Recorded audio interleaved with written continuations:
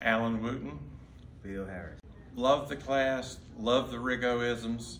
Uh, got to, got to have a way to get this stuff in your head, and he has a way of doing it that nobody else does.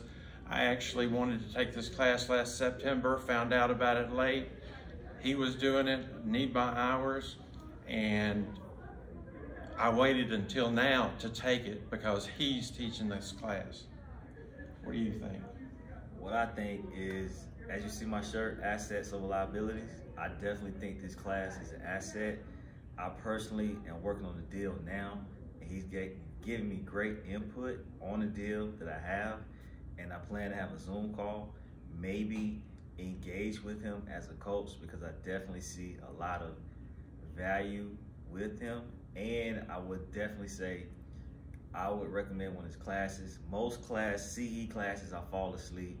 I have not fallen asleep in this class. He's very entertaining, and I highly recommend taking one of his classes.